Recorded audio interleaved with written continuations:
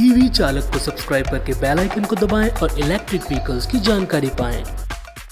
नमस्कार दोस्तों, मैं आशीष और स्वागत है आपका ईवी चालक पे। तो फ्रेंड्स आज हम इस वीडियो में बात करने वाले हैं कि जून के महीने में किस किस कंपनी ने अपने इलेक्ट्रिक टू व्हीलर को कितना कितना बेचा है। जून के जो सेल्स फिगर हैं, वो काफ़ी ज़्यादा चौंकाने वाले हैं क्योंकि इसमें काफ़ी ज़्यादा उतार चढ़ाव आए हैं। कई कंपनीज़ ऐसी हैं जिन्होंने अपनी पुरानी पोजीशन को फिर से हासिल कर लिया है और कई कंपनीज़ ऐसी हैं जो कि एक एक स्टेप करके अपनी पोजीशन को सुधार रही हैं और कई कंपनीज़ ऐसी हैं जिनकी पोजीशन में लगातार गिरावट देखने को मिल रही है।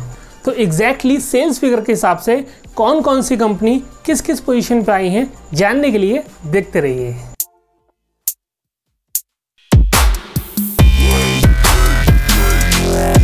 तो फ्रेंड्स बात कर लेते हैं सबसे पहले टेंथ पोजीशन पे आने वाली कंपनी की। तो टेंथ पोजीशन पे आई है बैनलिंग तो बैनलिंग ने जून के महीने में नौ सौ चौवन यूनिट्स को बेचा है। वहीं पे मई के महीने में उन्होंने सात यूनिट्स को बेचा था।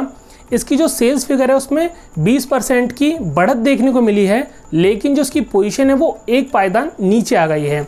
मई के महीने में नाइन्थ पोजीशन पे थी और जून के महीने में टेंथ पोजीशन पे आई है। नाइन्थ पोजीशन पे आई है प्योर ईवी अब जो इसकी पोजीशन है, वो लगातार घटती जा रही है। जून के महीने में इसने 1125 यूनिट्स को बेचा है। वहीं मई के महीने में इसने चौदह यूनिट्स को बेचा था। इसकी सेल्स में भारी गिरावट देखने को मिली है 23.2 परसेंट की। और जो इसकी पोजीशन है, वो लगातार घट ही रही है।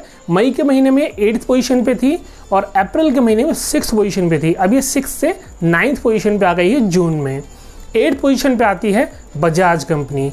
बजाज ने जून में सत्रह सौ इक्यासी यूनिट्स को बेचा है, वहीं पे मई में उसने 1715 यूनिट्स को बेचा था, जिसकी सेल्स फिगर है उसमें काफ़ी ज़्यादा फ़र्क नहीं आया है लेकिन इसमें 1.7 परसेंट का इजाफा देखने को मिला है। जून में जो इसकी पोजीशन है, एट्थ, मई में इसकी पोजीशन सिक्स थी और अप्रैल में इसकी पोजीशन नाइन्थ थी। सेवन्थ पोजीशन पे फिर से टीवीएस आ गई है, मई के महीने में ये टेंथ पोजीशन पे थी, अब ये फिर से सेवन्थ पोजीशन पे आ गई है। जून के महीने में इन्होंने 1936 यूनिट्स को बेचा है, वहीं मई के महीने में इन्होंने सिर्फ़ 442 यूनिट्स को बेचा था। इस हिसाब से इसकी सेल्स फिगर में सबसे ज़्यादा उछाल देखने को मिला है 338 परसेंट का। अब सिक्स पोजीशन पे आ गई है रीवोल्ट रीवोल्ट हर महीने अपनी पोजीशन को इम्प्रूव कर रही है। अप्रैल में एट्थ पोजीशन पे थी, मई में ये फिर सेवन्थ पोजीशन पे आई और जून में ये सिक्स पोजीशन पे आ गई है। सिक्स पोजीशन के साथ जून में इसने 2419 यूनिट्स को बेचा है, वहीं पे मई में इसने पंद्रह यूनिट्स को बेचा था। इस हिसाब से इसकी जो सेल्स फिगर है, उस पर भी अच्छा खासा उछाल देखने को मिला है, बावन का। फिफ्थ पोजीशन पर फिर से आ गई है एथर। एथर ने पिछले महीने अपनी पोजीशन को इम्प्रूव किया था। ये फोर्थ पोजीशन पे थी मई में। अब जून में ये फिर से फिफ्थ पोजीशन पे आ गई है। जून में इन्होंने सैंतीस यूनिट्स को बेचा है। वहीं पे मई में इन्होंने 3322 यूनिट्स को बेचा था। इसकी सेल्स फिगर में 14.3 परसेंट का इजाफा तो देखने को मिला है, लेकिन इसकी जो पोजीशन है वो घट गई है। अब बात करते हैं फोर्थ पोजीशन पे आने वाली कंपनी की, जो कि है ओला इलेक्ट्रिक। जी हाँ आपने सही सुना, ओला इलेक्ट्रिक। ये फोर्थ पोजीशन पे आ गई है। इसकी जो पोजीशन है, वो काफ़ी ज़्यादा डाउन होती जा रही है।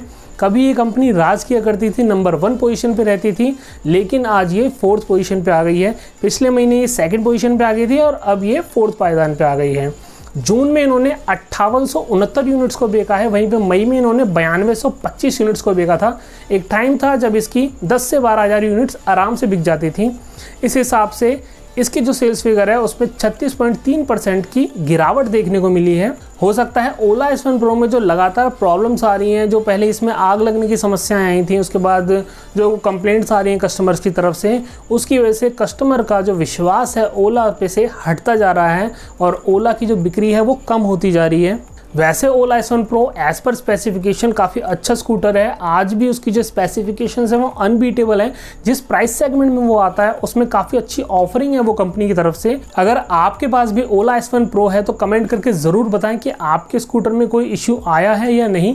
अगर आया है तो क्या इश्यू आया है? अगर नहीं आया है तो क्या आप अपने स्कूटर से संतुष्ट हैं? कमेंट करके ज़रूर बताएँ। अब बात करते हैं थर्ड पोजिशन पर आने वाली कंपनी की, जो कि है हीरो हीरो फिर से थर्ड पोजीशन पे आ गई है। पिछले महीने ये फिफ्थ पोजीशन पे चली गई थी, अब फिर से इम्प्रूव करके ये थर्ड पोजीशन पे आ गई है। जून के महीने में इन्होंने चौंसठ यूनिट्स को बेचा है, वहीं मई के महीने में इन्होंने 2850 यूनिट्स को बेचा था। इसके सेल्स फिगर में काफ़ी अच्छा इम्प्रूवमेंट देखने को मिला है 127 परसेंट का। अब बात करते हैं दूसरे नंबर पर आने वाली कंपनी की, जो कि है एम्पियर एम्पियर काफ़ी अच्छा परफॉर्म कर रही है। पहले ये अप्रैल में फोर्थ पोजीशन पे थी, फिर ये थर्ड पोजीशन पे आई मई में, अब ये जून में सेकंड पोजीशन पे आ गई है। जून के महीने में इन्होंने पैंसठ यूनिट को बेचा है, वहीं पे मई के महीने में इन्होंने अट्ठावन यूनिट्स को बेचा था। इनकी सेल्स फिगर में 11.9 परसेंट का सुधार देखने को मिला है। अब बात करते हैं नंबर वन पोजीशन पे आने वाली कंपनी की। जी हाँ वो है ओकिनावा। ओकिनावा इस बार भी नंबर वन पोजीशन पे आई है। पिछली बार भी ये नंबर वन पोजीशन पे थी और अप्रैल में ये थी नंबर थ्री पोजीशन पे। ओकिनावा ने जून में उनहत्तर यूनिट्स को बेचा है, वहीं पे मई में इन्होंने तिरानवे यूनिट्स को बेचा था। इसकी जो सेल्स फिगर है, उसमें गिरावट देखने को मिली है 25 परसेंट की, लेकिन जो इसकी पोजीशन है वो एक नंबर पे ही बरकरार है। ओकिनावा की सेल्स फिगर चिंताजनक है, क्योंकि ओला की जो सेल्स फिगर है वो काफ़ी ज़्यादा डाउन हो गई हैं। इस वजह से ओकिनावा नंबर वन पे है। अगर उसकी सेल्स फिगर डाउन नहीं होती तो हो सकता था ओकिनावा एक नंबर से खिसक के दो नंबर पे आ जाती। तो ओकिनावा नो डाउट बहुत अच्छी कंपनी है और काफ़ी ज़्यादा अच्छा कर रही है। तो यहाँ पे ओकिनावा को अपने सेल्स फिगर को और ज़्यादा इंप्रूव करने की ज़रूरत है, क्योंकि ओकिनावा के पास काफ़ी अच्छी खासी रेंज है सभी प्रकार के इलेक्ट्रिक स्कूटर्स की। तो फ्रेंड्स इस वीडियो में इतना ही। अगर आपको वीडियो पसंद आई तो प्लीज़ वीडियो को लाइक ज़रूर करें। और मुझसे कुछ पूछना चाहते हैं तो प्लीज़ मुझे कमेंट करें। इस वीडियो को ज़्यादा से ज़्यादा शेयर करें और ऐसे ही शानदार वीडियोज़ देखने के लिए प्लीज़ चैनल को सब्सक्राइब ज़रूर करें और सब्सक्राइब करने के बाद पहला आइकन को दबाएँ, ताकि आगे आने वाली वीडियोज़ की अपडेट्स आपको मिल जाए। तो फ्रेंड्स मिलते हैं नेक्स्ट वीडियो में। तब तक के लिए show green and go green